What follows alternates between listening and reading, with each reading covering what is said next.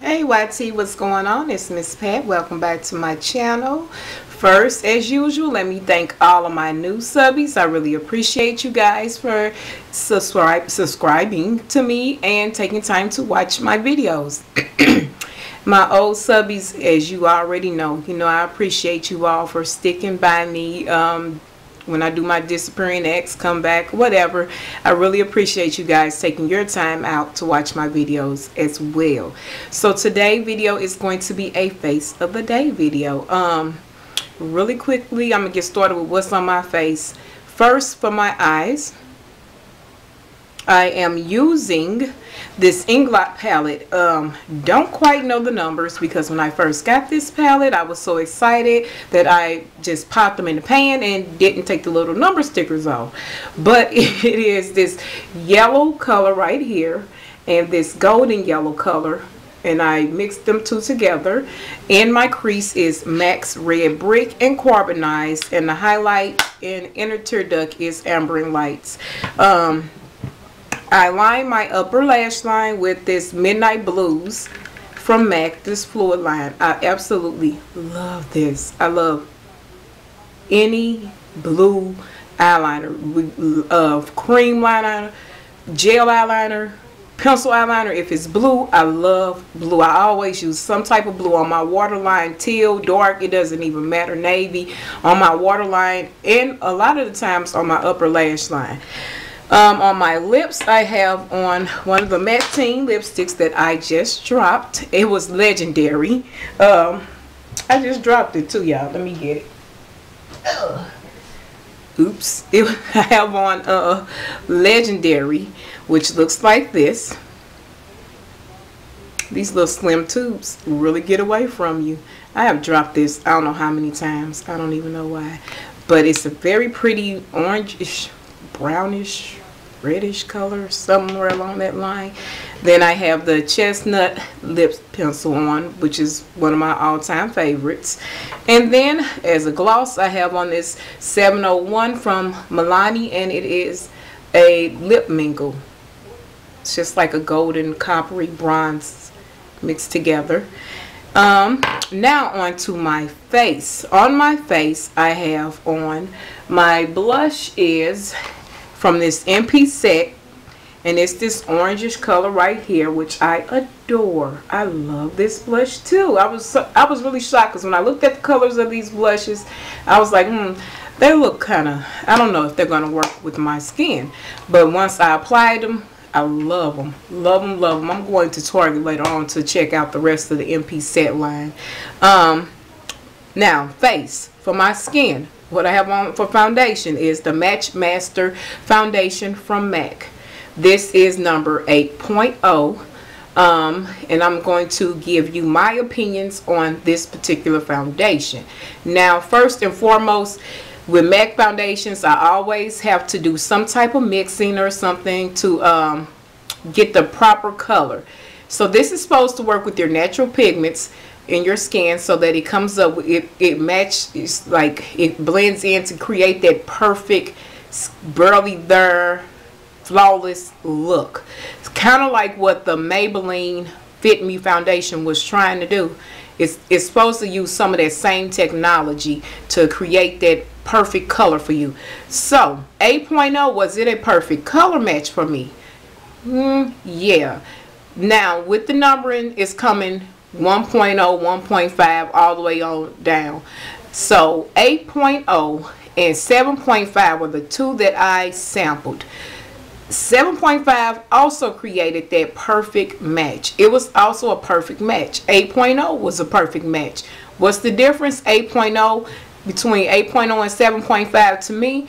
The difference is, is that 7.5 pull from more of my cooler undertones in my skin and 8.0 pull from more of my warmer undertones.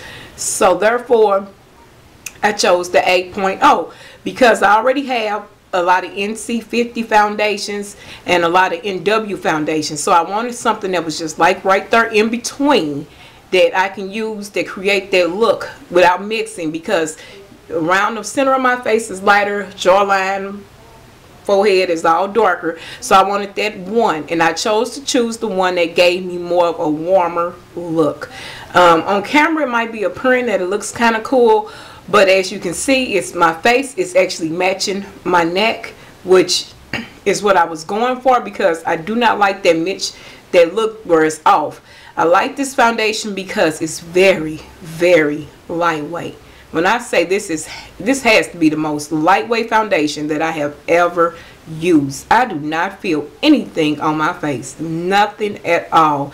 It's just like my skin is breathing. I can feel the air. It's not a heavy, cakey look that some MAC foundations can give you. I didn't have to spray it with any Fix Plus to get that right amount. It's not too matte, so I didn't use any Fix Plus to get a more dewy look. And it's not too dewy. It's like right there in between a semi-matte. Um, oil controlling. It is controlling my oil perfectly. I actually picked this bottle up thursday so i've been using it for about five days now. I'm oily all year round. It doesn't matter what the temperature is outside. My t-zones is going to oil up. So oil control if you're an oily skin person this is probably the best matte foundation that has ever came out for oily skin the consistency of this foundation is not thin, it's not watery thin, and it's not super thick. It's like in between, it's almost like a gel consistency. I'm going to put a little drop right there so you can see. It's not runny and watery. It kind of sits there just like a gel. So let me compare it to the Pro Longwear. Put a drop of the Pro Longwear. In Pro Longwear, I'm NC50. So you can kind of see the difference right there. The N um, 8.0 is a little darker and is you can't see any it's not a cool and it's not a warm shade. It's it really is a neutral shade. Um, as you can see the Pro Longwear is a little more runny than the Matchmaster foundation. So the Matchmaster is coming off almost like with a gel consistency to me. So when I put it on I actually use my fingers to apply it. Um, using different foundation brushes if it's too hard or something it can give you that streaky look because I tried that first with a uh, Sephora foundation brush that I had. Then I tried it with a stippling brush what I found works best for me is to blend it all in with my fingers and then just kind of go around with the Real Techniques um, stippling brush to buff it into my skin to help get that more natural look. Um, as far as the wearing powder, it wears about 8 hours on me. I do not blot. I'm just lazy like that. I don't blot. I don't uh, do anything else to my face. It, the rest of the day. I'll put some Carmex or some chapstick on my lip and keep moving. Therefore, I need foundation that is going to last me without having to do any blotting away of the oil or add any more coverage on throughout the day. This does that for me. It does not last as long as the Pro Longwear foundation, but it lasts a long time. Um, the What did I do? I um, used the Monistat right here, Soothing Cream to prime with. The first days I used the um, NARS primer. The second day I tried it with the Smashbox primer. Today and uh, yesterday I used this. I like this as the primer uh, more than the NARS or more than the um, Smashbox. With with the uh, technology that this has, it's supposed to adapt to your natural skin undertones. So when you're using a heavier silicone foundation, that's almost like creating a second layer of skin on your face.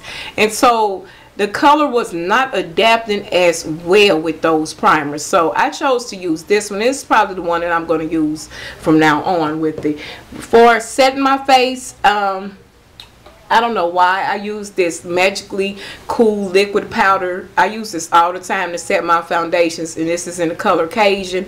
I don't know if it's supposed to be a setting powder or not. I just like the look that it does. So I use this because it kind of sets it and then gives me that highlighted effect at the same time. So I love this as a setting powder. Um, and that's it for my face. So far so well with this foundation. I'm actually liking it. I own the pro longwear i own the studio fix. I own the studio fix plus powder. I own the studio sculpt i own the moisture blend.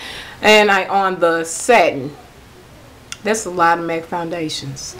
And out of all those foundations this and the Pro Longwear will probably be the one that I go to the most. Um, the Studio Fix, I don't even use that anymore. I just altogether stopped using it because of some of the breakouts. Now also, five days of wearing this, no breakouts. So that is a big plus because some MAC foundations do cause a little breakouts. Um, and I think that's because it's so lightweight and it's helping to control the oil as as opposed to just blocking your um, pores and causing them breakout. It's got something in it that's controlling the oils and it's so so lightweight. So get your sample of this, read up about it. Um, try to Google. I googled the um, comparison chart that they have out there for this foundation to see if it was dead on. 8.0 was compared to an NW45 and I'm still say I believe it's a mix of the NW45 and the NC50 so um, as far as comparing it you can google it and check the comparison charts out but because it's a neutral foundation the only thing that you might get help from with that is where the shade stands at like what color of the shade but it's not really helping because um, like NW is warm, NC is cool, so this is neutral. And that comparison chart did not help me at all, but it might help you all, so check that out. And that is my face of the day.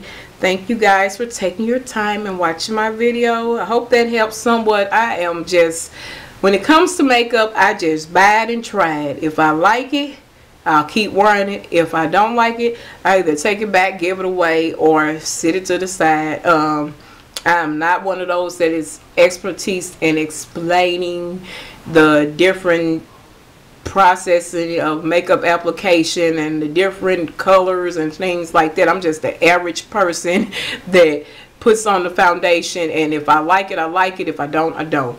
And this one is one that I like. So thank you guys for taking time to watch my videos and I will see you in the next one. Bye.